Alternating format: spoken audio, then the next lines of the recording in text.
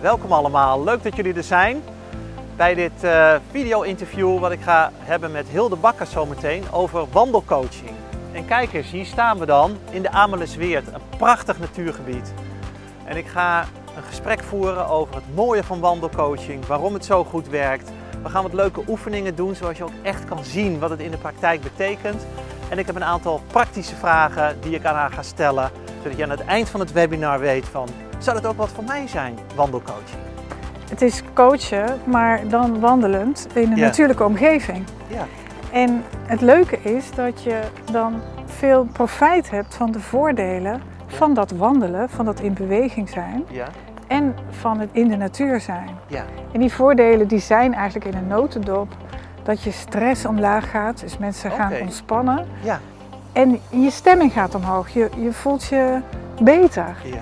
En je gaat helderder denken en je wordt creatiever. Maar wanneer je daar extra aandacht aan besteedt, met Mhm. bijvoorbeeld oefeningen of je betrekt de natuur daar echt bewust bij, dan worden die effecten groter. Dus je pikt subtiele signalen eerder op en daar kun je naar handelen. Ja. Dus je merkt eerder, er zit een hoofdpijn aan te komen, uh, Oké. ik word moe. Uh, en dat, is, dat, is, ja, dat kan heel waardevol zijn in je coaching voor mensen die op weg zijn naar een burn-out, of mensen die aan het herstellen zijn, Oh, of mensen die hun grenzen gewoon niet zo goed voelen. Ik, eh, ja, Je wordt wat losser. ik, ik voel het, maar ik, ja, Oké. geef er maar woorden aan, weet ik niet. Ja? Nou ja, wat ik zie is wat losser, misschien wat Ja. speelser, wat vrijer. absoluut. Ja, er is een camera bij, dus ik durf het niet helemaal te laten gaan. Maar ik heb dat wel, ja, van... eh, je krijgt zin om in een boom te klimmen. Nou ja, nou ja, of een beetje te rennen, of te, te- nou ja, huppelen zullen we Oh. niet doen, maar dat idee.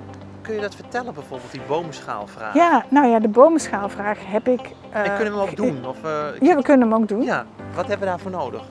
Eh, twee bomen. Kijk, wat ik dan. Dit gaat lukken. Ah, We hebben ja. hier twee bomen. Ja, dit gaat absoluut lukken.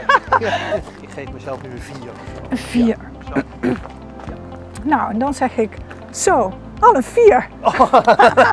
Dat klinkt al goed. Ja. ja, ja dat, je draait het om. Ja, ja, ja. Ja. van, oké, je hebt want- al een vier. Hartstikke goed. Ik heb al veel. Ik sta op een vier. Op een en dan- vier. En dan vraag ik je om een kleine stap te maken naar bijvoorbeeld een vijf. ja.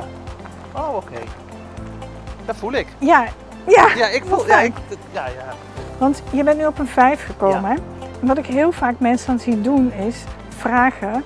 Wat heb je nodig om van een 4 naar een 5 te komen? En dat Ja. is eigenlijk weer datzelfde verhaal. Dan gaan mensen zeggen, oh, maar dan moet ik dit Oh anders ja, ja, doen. ja.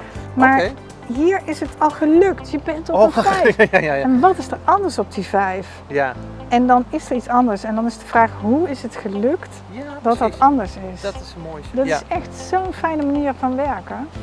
Maar wat ik altijd doe is, ehm, zo richting het eind van de wandeling ga ik nog even zitten en iets drinken bij de veldkeuken. En dat is ook een moment dat we allebei iets op kunnen schrijven. En ik maak na afloop meteen een verslag. Dus ik schrijf zoveel mogelijk op wat ik nog weet. En ik vraag ook aan de coachie of Dat die was- een verslag maakt. Precies. En sowieso is dit een enorme groeimarkt. Hè? Dat wandelcoachen, het coachen in het groen. Ja. En, en ja, ook, het wordt steeds duidelijker, ook artsen en, en, eh, en andere mensen uit de reguliere wereld, die eh, zien hoe goed dit werkt. ja, ik heb er eh, veel van opgestoken. Ik vond het echt super top. Wat leuk. En ik wou je daarvoor bedanken Nou, om dat eh, zo met ons te delen. ik ja. vond het ook heel erg leuk om te doen. Ja. Ik vond het heel, ja, het ging heel ik kon het zien. Ja. easy en makkelijk. En eh, met heel veel plezier heb ik het gedaan. Ja. Nou, hartstikke graag. Ja. Leuk. Dankjewel. Jij ook bedankt. Oké. Okay. Nou, yeah. het love van de maand zit.